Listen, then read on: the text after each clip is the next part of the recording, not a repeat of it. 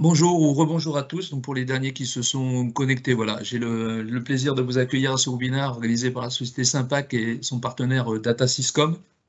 Voilà, comme euh, je l'ai dit tout à l'heure, le principe est de vous présenter une solution qui vous permettre de gérer, enfin, de gérer vos courriers au quotidien et surtout de simplifier et d'optimiser leur traitement.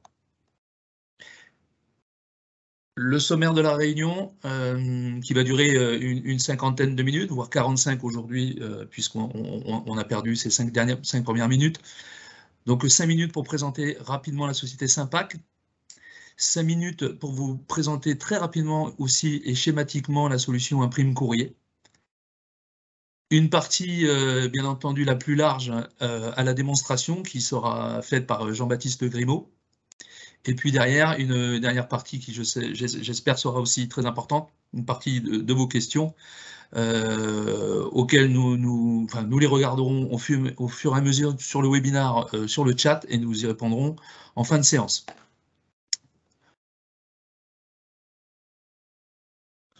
Donc, présentation de, de Sympac. Donc, Sympac, c'est une société qui a, une, qui a cette année 20 ans, en fait, c'est 20 ans euh, de présence aux Antilles. Nous sommes un prestataire donc euh, reconnu dans le métier de l'éditique et notre cœur de métier. Aujourd'hui, nous imprimons plus de 3,5 millions et demi d'imprimés par an. nous avons de, gros émetteurs comme les régies des eaux, des gros facturiers, des quitanciers, des bailleurs sociaux. Et nous sommes présents sur les trois territoires. Nous, euh, avons aujourd'hui euh, trois axes dans nos métiers. Le premier, c'est la numérisation. Donc nous, pouvons numériser des courriers entrants. Beaucoup de, clients nous confient leur courrier au quotidien que nous numérisons et que nous mettons à disposition sur leur système d'information. Et nous avons aussi une deuxième euh, strate, un deuxième métier, c'est la numérisation des archives. Beaucoup d'opérations de, de, désarchivage, donc numérisation des archives et intégration dans un système d'information. Notre deuxième métier, c'est la dématérialisation de documentaires dans un sens euh, plus large. Nous faisons l'intégration métier d'une solution GED qui s'appelle DocuWare. Nous faisons des formulaires euh, interactifs pour des, prises de BL, des, bons d'intervention, des bons de livraison. Nous proposons des solutions, nous proposons aussi des solutions de signature numérique. Mais comme je vous l'ai dit aussi, euh, notre cœur de métier reste l'éditique et le routage de documents. Donc le document, on va dire, industriels, donc de gros flux de, factures qu'on va capter, paramétrer, et ensuite mettre sous pli et, déposer en poste. Et puis aujourd'hui, c'est ce qui nous amène, c'est la gestion des courriers grainés, les courriers au quotidien, qui aujourd'hui euh, ne, sont pas massifiés et qui ne vous permettent pas de bénéficier des, meilleurs tarifs postaux.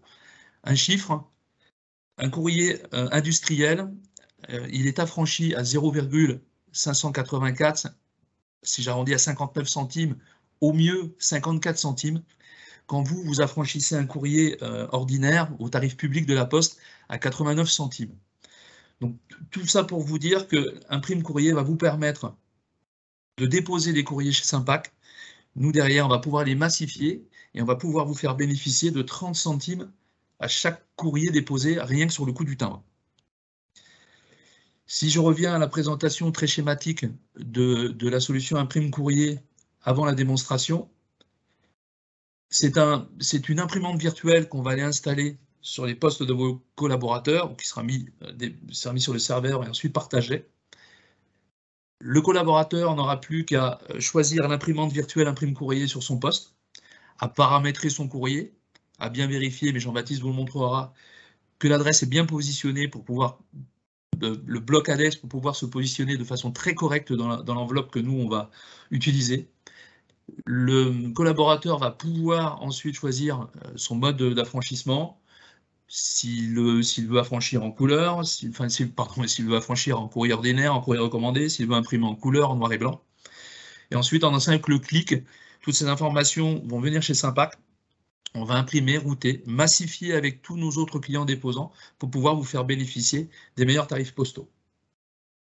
Voilà, j'ai été, euh, bref et concis, je l'espère, pour pouvoir passer la main à Jean-Baptiste pour la partie démonstration.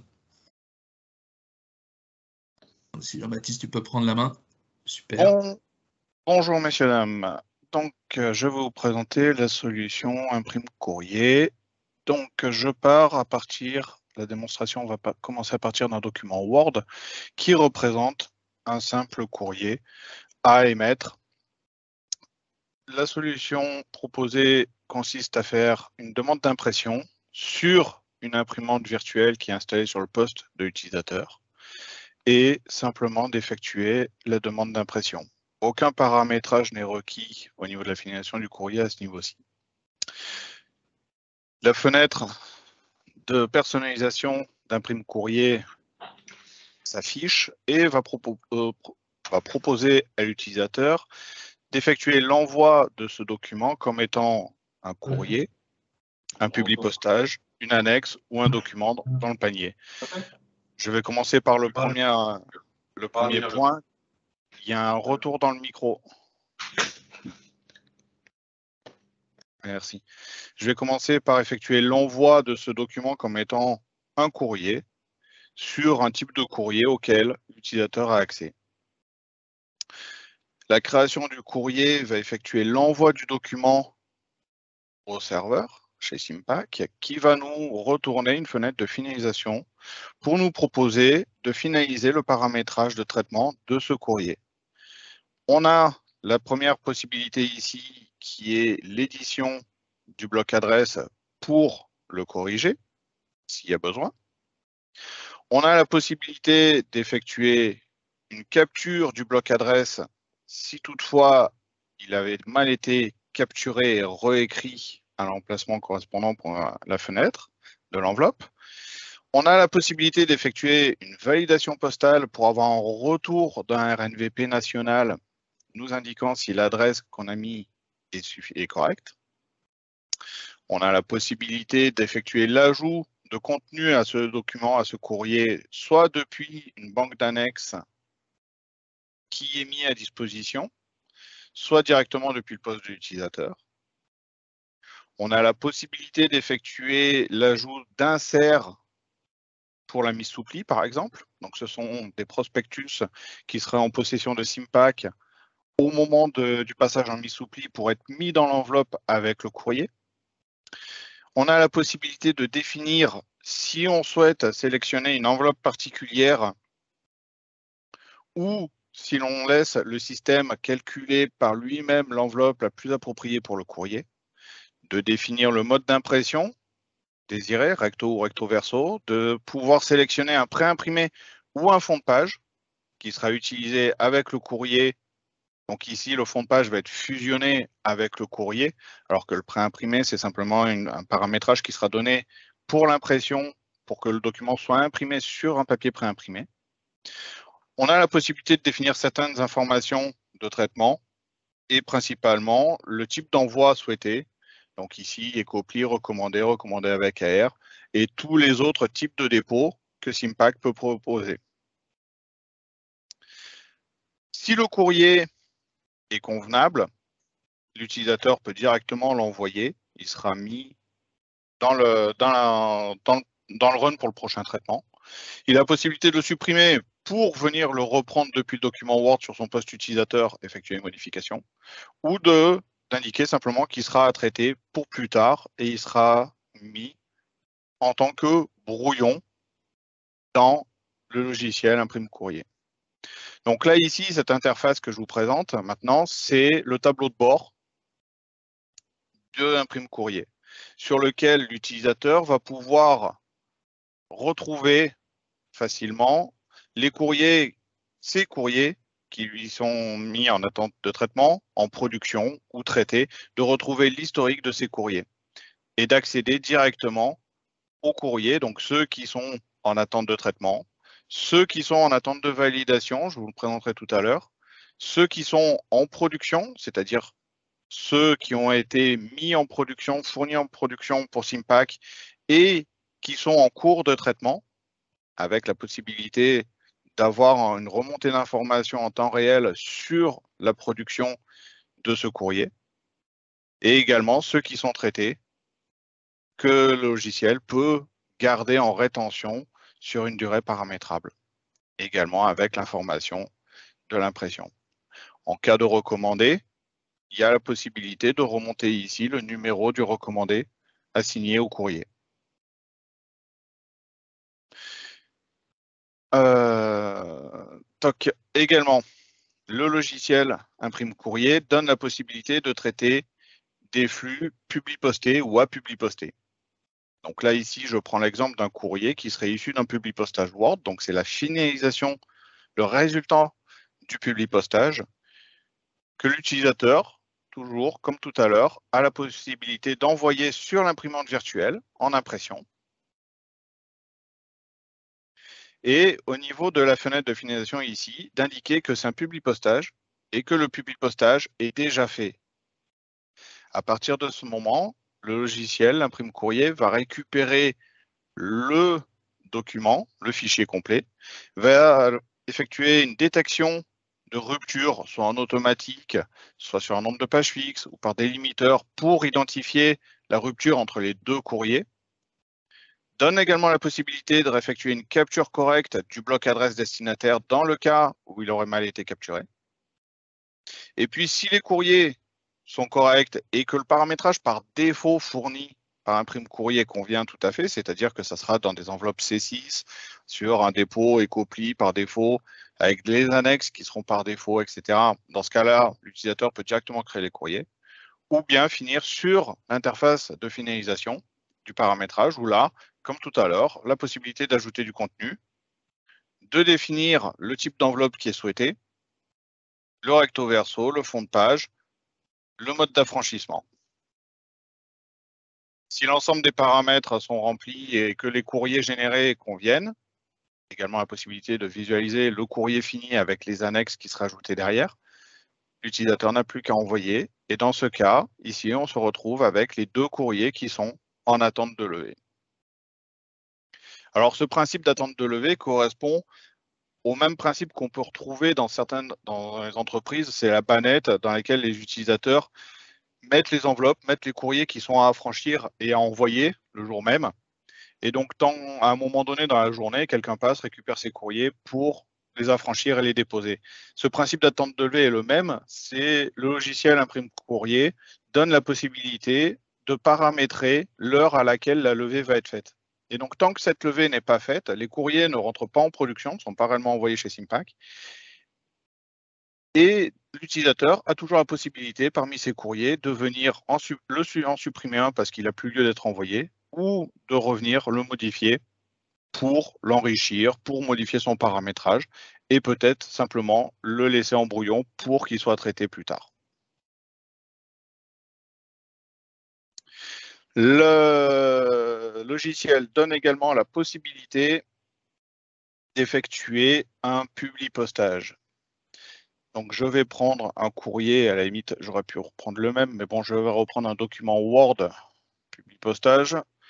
Euh, je vais reprendre le premier, on va enlever ce bloc adresse et on va l'envoyer de nouveau sur l'imprimante virtuelle. Au niveau ici, je vais indiquer que le public postage va être à effectuer.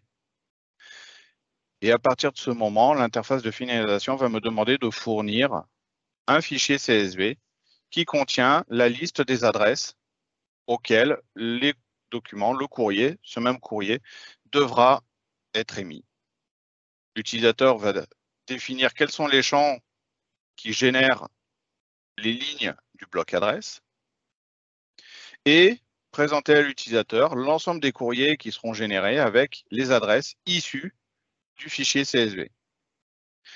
Si le résultat est correct et que l'ensemble du paramétrage convient à l'utilisateur, il n'a plus qu'à créer les courriers. Sinon, il peut finir sur l'interface de configuration où il va retrouver les mêmes paramètres. L'ensemble de ces paramètres ici seront appliqués à l'ensemble des courriers qui ont été générés par le public postage.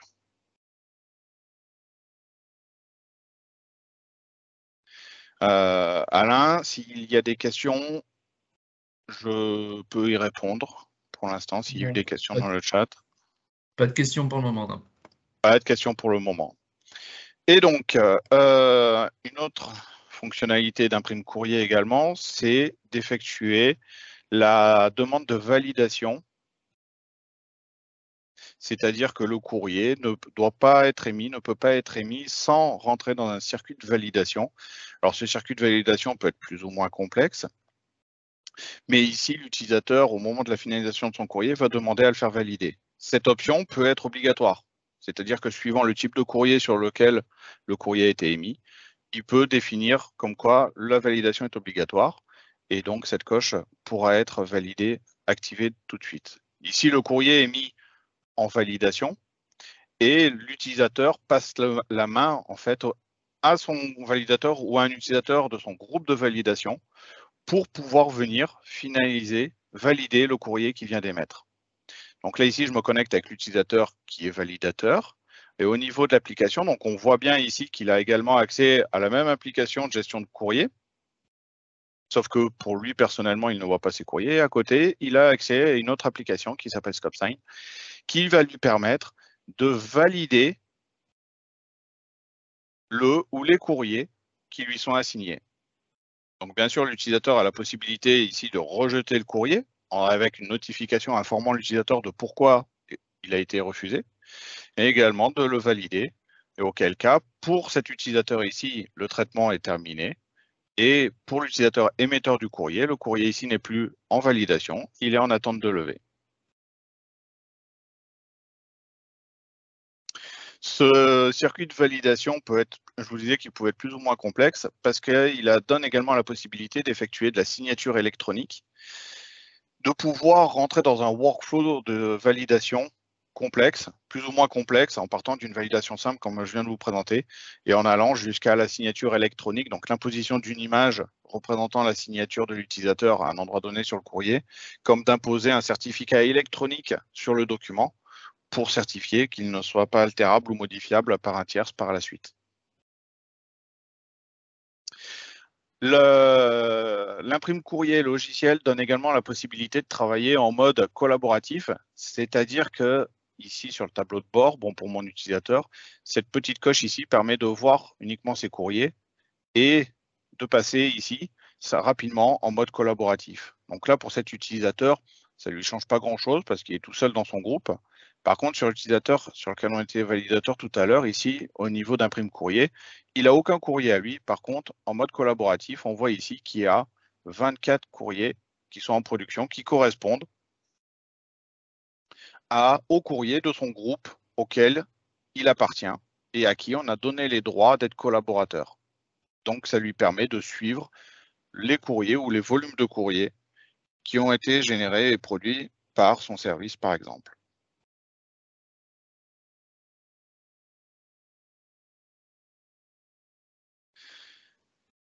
Toujours pas de questions? Pas de questions, les gens sont pas sont pas curieux, mais après la démo est, est très, très explicite, très, très parlante. Donc, il y a quand même une question aussi qui est arrivée en parallèle. Le, logiciel est-il installé sur euh, le, serveur ou euh, est-il accessible à distance? Le logiciel est full web. Donc, euh, il est accessible en page web sur une URL qui est, qui est fournie avec un compte utilisateur et un mot de passe. Euh, l'imprimante virtuelle est installée sur le poste utilisateur en soi, qui elle peut être téléchargée directement depuis l'interface. Et il n'y a pas d'interface lourde. C'est un accès full web. Donc à partir du moment où on a accès à, Internet, si je puis dire, on pourra avoir accès au logiciel. Ok, très bien, merci. Et une autre qui était, euh, où, je pense qu'on a eu une partie de la réponse, notamment qui était de faire signer un courrier par euh, plusieurs personnes avant l'envoi, donc savoir si c'était possible, je crois que ça on l'a vu. Tout à fait. Jusqu'à combien de personnes? En fait, le logiciel fonctionne par groupe utilisateur. C'est-à-dire qu'un utilisateur appartient à un groupe et ce groupe est mis en relation avec un, un ou plusieurs autres groupes de validateurs dans lequel il y aura des utilisateurs. Et donc au niveau du workflow de signature, on peut préciser quel va être le groupe utilisateur qui va devoir effectuer la, signature, la validation des courriers. Mais également, on a la possibilité de préciser l'utilisateur distinct qui doit valider ou signer le courrier.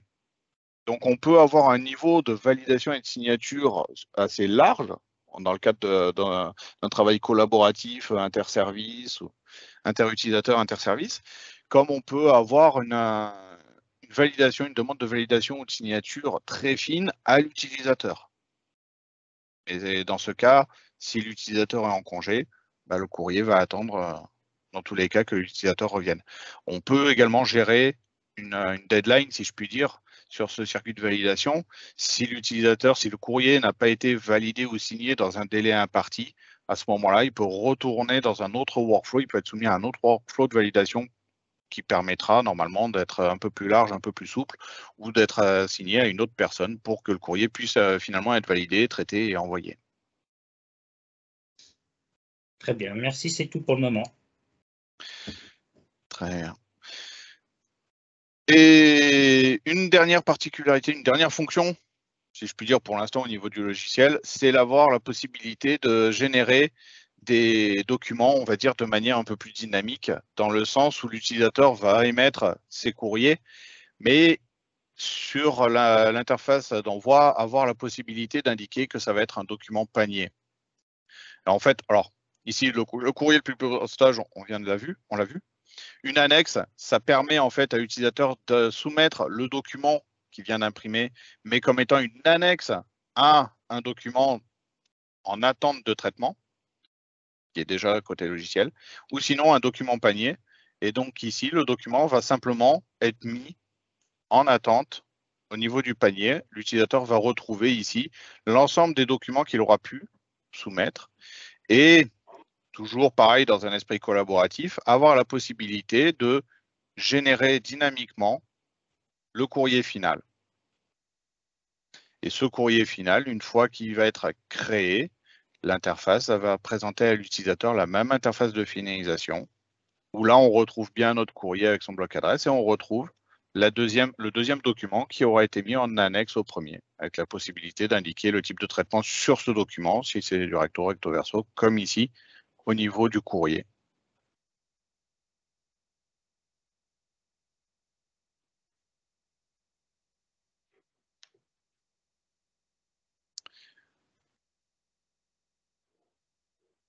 Voilà.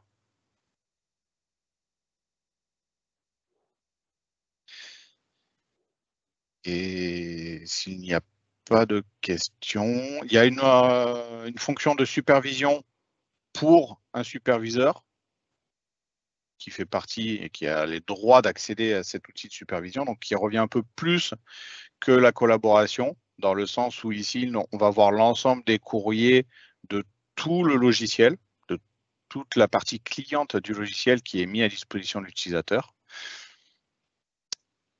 Et puis, et puis voilà l'ensemble des fonctions du logiciel. La possibilité de rechercher directement depuis la page d'accueil, de personnaliser le tableau de bord, de pouvoir créer également un courrier directement depuis l'interface en uploadant le fichier au format Word ou PDF.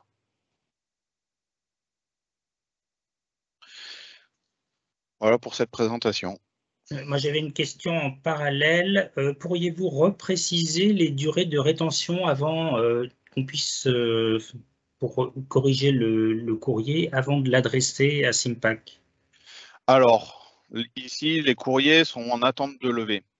La levée ici peut être période, elle est forcément en, en production. Il y aura forcément une levée par jour. L'heure de la levée est paramétrable et, dynamique dans le sens où d'un type de courrier à un autre, on peut indiquer que ben, pour les recommander, la levée doit être faite à 14 heures ou plus tard, alors que pour des courriers qui sont en, lettres vertes euh, ou en écoplie, la levée peut être faite à 16 heures, par exemple. À partir du tant que la levée n'a pas été faite, le courrier peut être repris par l'utilisateur, modifié ou supprimé. À partir du moment où la levée a été effectuée, les courriers rentrent dans le step de production.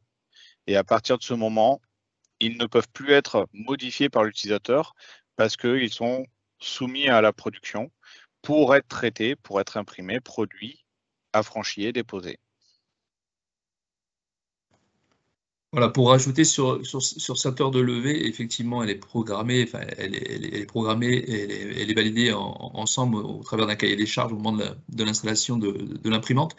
Mais effectivement, selon l'heure de levée choisie, euh, Sympact hein, ne pourra pas forcément euh, garantir la production du courrier le jour même, parce que si on fait une levée euh, très tard en fin d'après-midi, il est difficile pour nous de, produire, de mettre sous pli le, jour même. Mais pour une levée programmée euh, le matin, on peut effectivement produire et mettre sous pli le jour même. C'est important, mais ça on le voit effectivement au niveau au moment de l'installation de l'imprimante. J'en profite pour, pour, voir si. Déjà, je te remercie Jean-Baptiste pour la, pour la démo qui a été quand même très, très précise et très complète. Est-ce qu'il y, a des, est y a des questions de la part des, des, gens qui participent au webinaire?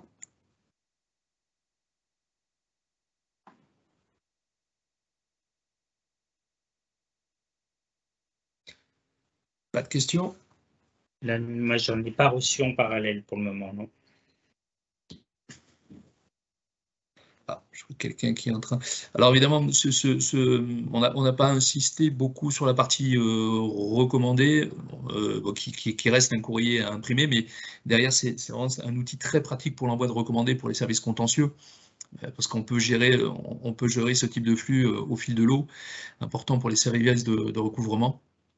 Derrière, on a, on a rajouté un, un principe, c'est qu'à partir du moment où vous nous envoyez un recommandé à imprimer, vous allez recevoir de façon immédiate un mail avec euh, l'image du courrier euh, que vous avez euh, envoyé et surtout le numéro de recommandé que nous, on a utilisé pour que vous puissiez archiver dans votre procédure de contentieux l'ensemble des docs.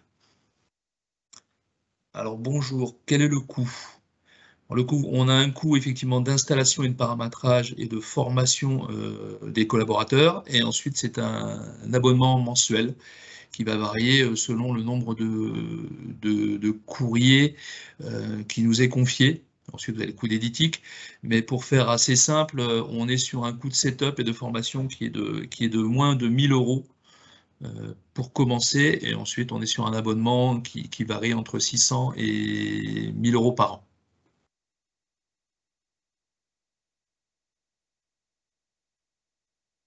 Quel que soit le nombre d'utilisateurs, c'est important.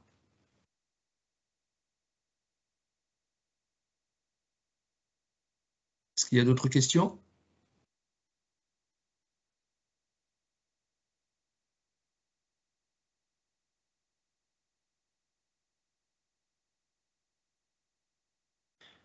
Je vais peut-être reprendre la main pour finir la présentation.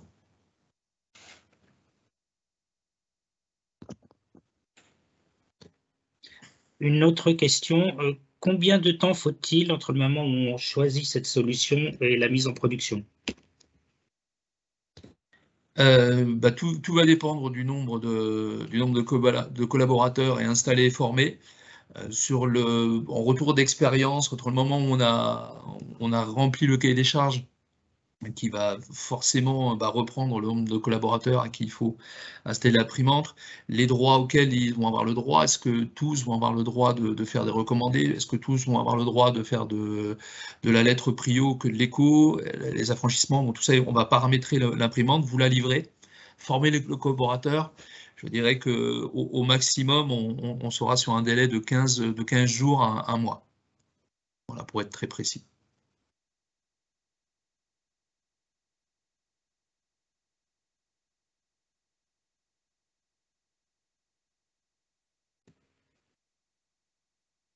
Pas d'autres questions hein? Non, pas d'autres questions pour le moment. Je reprends la main. Euh, encore merci Jean-Baptiste pour la démonstration. Euh, alors pourquoi, pourquoi choisir un prime courrier? Ben, le, graphique que je vous mets devant les yeux, ben, il, il, suffit à lui-même. Euh, vous avez dû forcément vous voir de votre côté depuis deux ou trois ans ben, l'évolution exponentielle du coût du timbre c'est régulier depuis quelques années, mais depuis les années 2015, on a une courbe qui est, euh, qui est assez, euh, assez importante. Et je vous rappelle que nous, derrière, du fait de pouvoir massifier l'ensemble des courriers de, nos, de nos clients, va pouvoir vous faire bénéficier des tarifs industriels.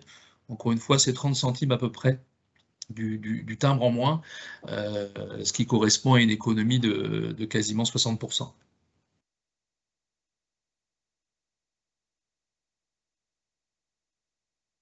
Et puis ensuite, ben, je vais euh, rappeler au travers de ce, diaporama ben, les avantages de l'outil. Encore une fois, les coûts, les impressions, le, coût d'impression, les affranchissements, euh, plus de déplacements à la poste. Si on rajoute à ça les coûts, euh, on va dire, sur, le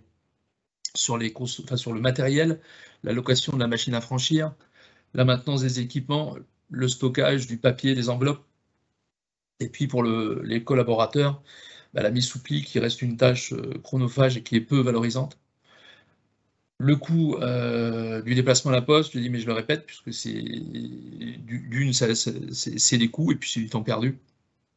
Et puis derrière, l'archivage des documents, euh, puisque vous l'avez pu le voir dans la démonstration, l'image des, documents va rester sur, sur l'imprimante, mais nous aussi derrière, peut vous proposer des solutions, soit pour vous indexer les docs que nous avez confiés, pour pouvoir les pousser dans votre système d'information, ou nous aussi, on propose des systèmes d'archivage, euh, des SAE, dans lesquels on pourra archiver vos documents envoyés à leur probatoire.